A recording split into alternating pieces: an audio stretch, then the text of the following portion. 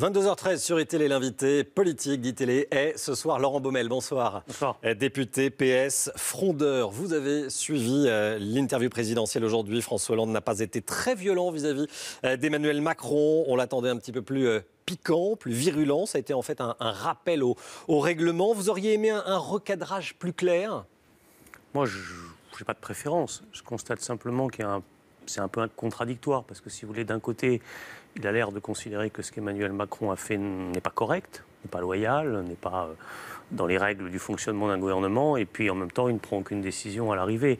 Donc j'ai l'impression que pour les Français qui regardaient ça, euh, ils ont retrouvé un peu le, François Hollande euh, indécis et un peu inconsistant euh, qu'ils n'aiment pas trop voir. Est-ce que vous avez l'impression qu'il y a un deux poids, deux mesures entre Emmanuel Macron et Arnaud Montebourg? Ça a été un petit peu plus expéditif pour Arnaud Montebourg Alors, euh, il y a une différence parce que Montebourg avait un vrai désaccord politique de fond avec François Hollande sur la ligne économique, l'approche de la question européenne.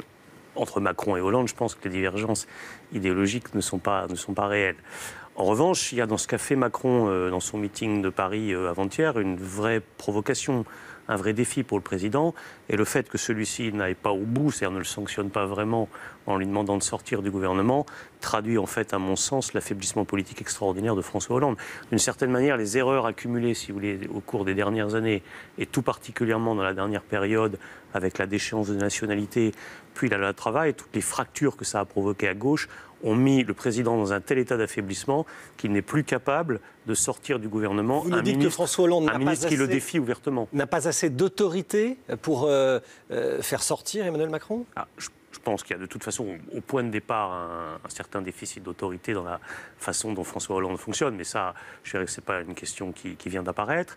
Mais ce que je dis, c'est qu'en plus de cela, il a fait tellement d'erreurs, il a tellement divisé la gauche, il, créé il a créé, créé, tellement, si vous voulez, de, de béance au sein de la gauche au cours des dernières années et des derniers mois, qu'il est très affaibli et qu'aujourd'hui, ça devient difficile pour lui. Il n'a plus tellement de marge de manœuvre politique d'ouvrir un nouveau front euh, avec Emmanuel Macron. Et donc, je, je, on sent bien que tout ça est en fait le symptôme de l'affaiblissement personnel de François Hollande. François Hollande n'a pas un intérêt politique à garder euh, auprès de lui Emmanuel Macron. Vous le disiez à l'instant, ils sont proches tous non, les mais deux Je pense que si ce type de défi avait eu lieu plus tôt ou dans des contextes où Hollande avait été moins affaibli, par, encore une fois, par les erreurs qu'il a commises, il aurait pu trancher dans, dans, le vif, quelles que soient les difficultés qu'il a à titre personnel à le faire. Pourquoi est-ce qu'il suscite autant euh, d'intérêt, Emmanuel Macron, qu'il soit positif ou, ou négatif? Mais c'est surtout dans les médias hein, qu'il suscite de l'intérêt.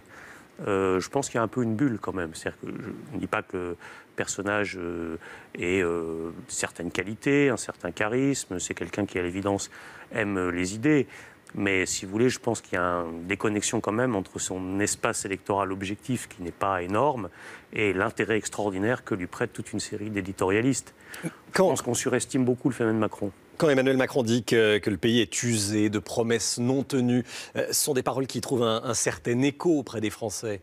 Quand on oui, discute mais... avec eux, vous êtes député d'Indre-et-Loire, quand vous discutez avec vos électeurs. Oui, mais je veux quand même rappeler qu'il a été euh, l'inspirateur euh, du tournant de politique économique du président de la République. Lorsqu'il était secrétaire général adjoint à l'Élysée, puis ministre, il a quand même porté, par exemple, toute cette politique, euh, le pacte de responsabilité, la loi qui porte son nom. Euh, ça fait partie du tournant qui a eu lieu et qui fait que ce qui avait été promis ou proposé n'a pas été tenu et qu'on a fait autre chose. Donc il peut difficilement quand même s'exonérer de ce bilan. Là, il y a quelque chose d'un peu artificiel dans le fait de se mettre en dehors de, de ce bilan.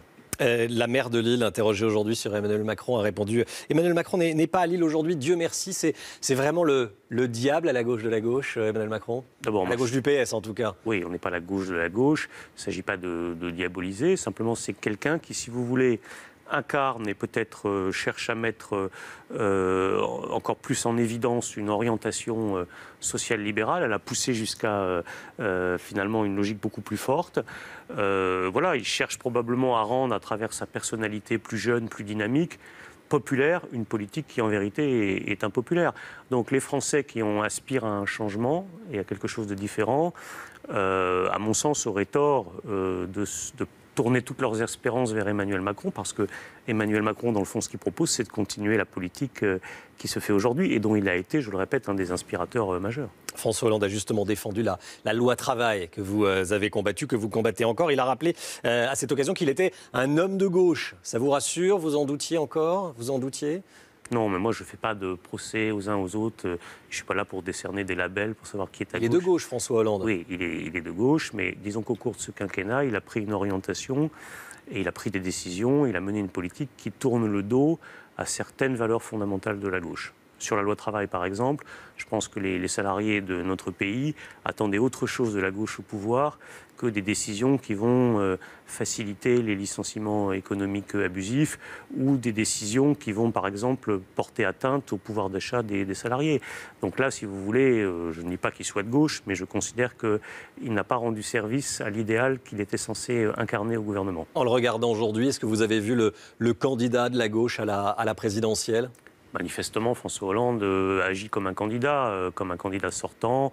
Il vante son bilan, euh, quitte d'ailleurs à tordre un peu la, réalité par moment. Bon, il fait ce que fait un sortant qui a l'intention de se représenter. S'il y a une primaire à gauche et qu'il est désigné, vous le soutiendrez? Je ferai tout pour qu'il ne soit pas désigné déjà. et puis il faudra vérifier que la primaire peut avoir lieu dans de bonnes conditions. Vous êtes proche d'Arnaud Montebourg, vous souhaitez qu'Arnaud Montebourg participe à cette primaire? À condition que la primaire soit loyale c'est-à-dire qu'il y ait euh, un nombre de bureaux de vote euh, suffisant pour que tous les Français qui auraient envie d'y participer puissent effectivement y participer, et à condition qu'on explique bien que cette primaire est une occasion démocratique pour trancher précisément les divergences que nous avons, et que ce n'est pas une primaire qui serait réservée, comme je l'entends dire parfois, à ceux qui soutiennent le gouvernement. Vous craignez que la direction du PS organise une primaire euh, qui ne soit pas loyale? Je ne fais pas de procès d'intention, mais on sera mhm. vigilant à ce qu'effectivement les hommes, tous les hommes et toutes les femmes qui se sentent de gauche et qui ont envie de participer à cette primaire, soit pour soutenir Hollande, soit au contraire pour lui chercher euh, un remplaçant, puissent le faire dans des conditions euh, d'égalité. Mais si c'est Hollande qui est désigné, François Hollande, est-ce que vous le soutiendrez ou est-ce que vous soutiendrez un, autre candidat, Jean-Luc Mélenchon À partir du moment où on se sera engagé dans la primaire, on accepte le résultat de cette primaire. C'est la règle du jeu. Allez, une dernière question sur euh, le coiffeur gate. Euh, François Hollande a été interrogé sur le salaire de son coiffeur personnel, 10 000 euros par mois. Il n'a pas démenti le, montant. Il s'est euh, défendu en expliquant avoir baissé le budget de l'Elysée de 10% C'est une explication qui vous convient? Je ne sais, pas pourquoi il ne peut pas aller chez le coiffeur rue Saint-Honoré. Il doit y avoir des coiffeurs quand même dans le quartier, non? C'est ce que vous lui conseillez? Ouais, ce serait plus simple. Merci beaucoup Laurent Baumel, député euh, PS d'Indre-et-Loire, euh, député PS frondeur évidemment. Merci d'être venu ce soir, euh, en ce 14 juillet sur iTélé. Restez bien avec nous dans un instant. Prochain journal et puis le grand décryptage. On reviendra sur cette interview présidentielle de François Hollande. Et puis à 23h, le feu d'artifice sur iTélé. A tout de suite.